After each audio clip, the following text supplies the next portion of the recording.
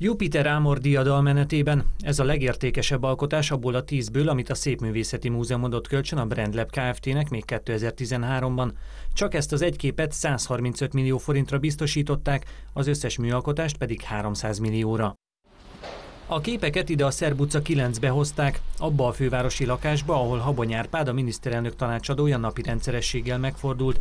Bán László, a Szépművészeti Múzeum főigazgatója korábban azt mondta, jóban van ugyan Habony Árpáddal, de nem tudta, ki lakott abban az időszakban a lakásban. Nem érdekelnek, hogy sem is tudom a tulajdonosi viszonyít a Szerbucának.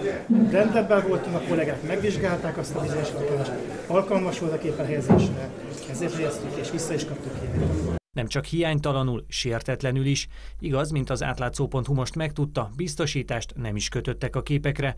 A lapnak a múzeum azt írta, idézem, az ezzel kapcsolatban elrendelt belső vizsgálat alapján megállapítást nyert, hogy a biztosítási szerződéskötés folyamata ugyan megkezdődött, de nem fejeződött be. A múzeum ezután azt közölte a híradóval, nem is volt kötelező biztosítást kötni a műalkotásokra, de a kölcsönvevő a szerződés hetedik pontjában teljes kártérítési felelősségvállalásra vonatkozó garancia nyilatkozatot tett, azaz vállalták, baj esetén kifizetik a kárt. Ennek azonban ellentmond a vs.hu birtokában lévő kölcsönszerződés, a már hivatkozott hetedik pont azt is rögzíti, hogy kereskedelmi biztosítást kell kötni a képekre, ez a múzeum feladata lett volna, a díjat a bérlőcég fizette volna.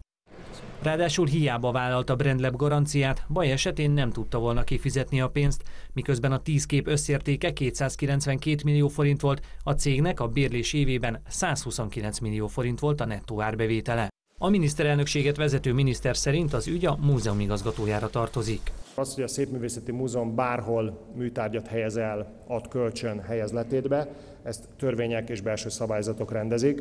Amennyiben ennek megfelelően jártak el, akkor semmi hibát nem vétettek, vagy semmi visszaélést el nem követtek. A DK felszólította Orbán Viktort, hogy 24 órán belül tegyen feljelentést az ügyben, vagy ők fognak. A közvagyont magánvagyonnak tekintik a kevesek, ezek a fideszes kevesek, Orbán Viktor és köre, és mi azt gondoljuk, hogy a sokak Magyarországa nem engedheti meg magának azt, hogy visszaéljenek a közvagyonnal, a közbizalmával, és lopjanak, csajanak, hazudjanak. Korábban már kiderült, hogy Habony Árpád évekkel korábban ingyen tarthatta lakodalmát a Szépművészeti Múzeumban, esküvői tanúja Bán László főigazgató volt.